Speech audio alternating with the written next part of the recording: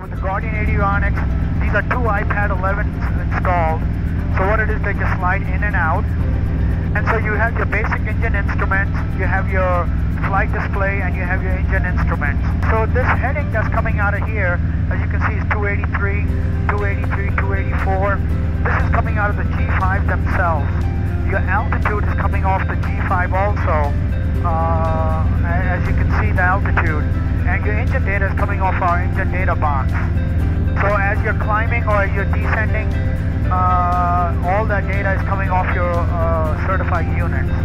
So basically you could do this screen over here, and on this screen, let's say you want to go to, uh, you have a lot of options. You can do ForeFlight. Uh, also on this side, you can also do Garmin uh, uh, app itself, or you can go to our RMFD app. So this iPad now, you have your primary display in case uh, the iPads uh, go down or whatever, you can still fly the entire airplane with this instrument. So uh, you kind of have the whole airplane uh, just with this basic instrument, and you can use these iPads for a lot of other multi-purposes.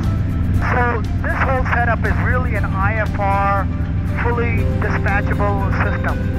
So, but if you really wanted a VFR, you can really just go with the two uh, G5s and uh, intercom and one radio and one transponder, and you can really cut down the cost of your equipment.